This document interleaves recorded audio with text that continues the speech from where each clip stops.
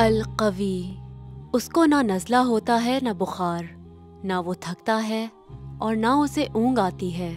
वो तो सारी कायनात का निज़ाम संभाले हुए है और बड़ी से बड़ी सुपर पावर भी। उसका कुछ भी नहीं बिगाड़ सकती। और कोई कैसे किसी किस्म का नुकसान पहुँचाए? वो तो अलकवी है।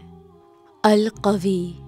जो नहायत ताकतवर और निहायत मज़बूत है, अपनी ताकत में कामिल और लामहदूद।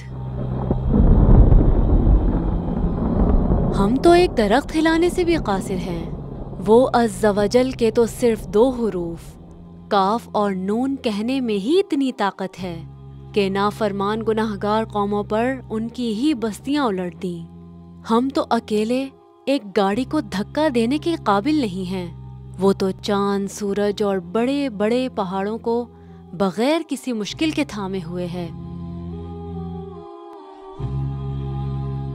ऑपरेशन के बाद जब आँख खुलती है तो तड़प का दर्द उठता है। ऐसे में कभी कभी कितने ही इंजेक्शन लग जाएँ, मुट्ठी भर दवाइयाँ खा लें तकलीफ़ दूर नहीं होती।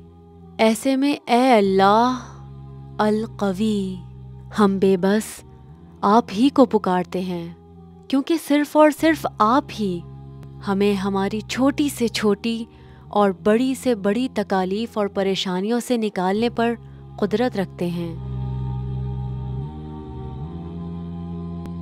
ए हमारे रब अल कवी हमारा ईमान तो बहुत कमज़ोर है मेरे मालिक। हमें क़ुवत बख्शें कि हम जुल्म के ख़िलाफ़ अपनी आवाज़ उठा सकें। जालिम के सामने आपकी रहनुमाई और मदद के साथ अपने हक के लिए झगड़ सकें। आमीन।